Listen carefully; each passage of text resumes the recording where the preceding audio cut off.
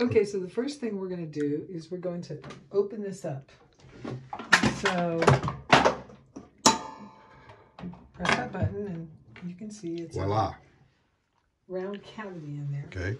And then we're going to put um, Close in our there. load in there. And I want to tell you that this machine will do about seven kilos, which comes out to be somewhere around, I don't know, 16, 15, 16 pounds more or less. Okay.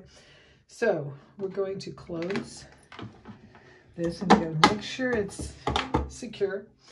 And there are three places here. One is for a pre-wash, for a softener, and then the regular um, laundry detergent. And we're only going to use the regular laundry detergent. And here it is. And we want to use the biodegradable. So we like planet. So we're going to put a half of a capful, unless it's a really dirty load and you want some extra Okay. soap. Okay, so now we're going to close it. And this machine is already pre-programmed to do a load that will last 44 minutes.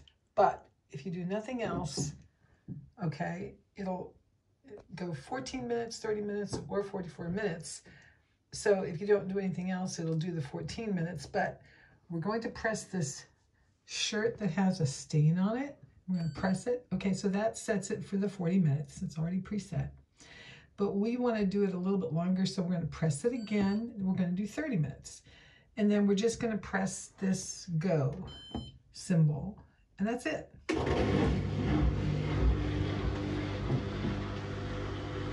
So how come it's, okay. so- Okay, you have to turn it around till the door comes open. Oh. There, there, the door's got to be right there. Okay.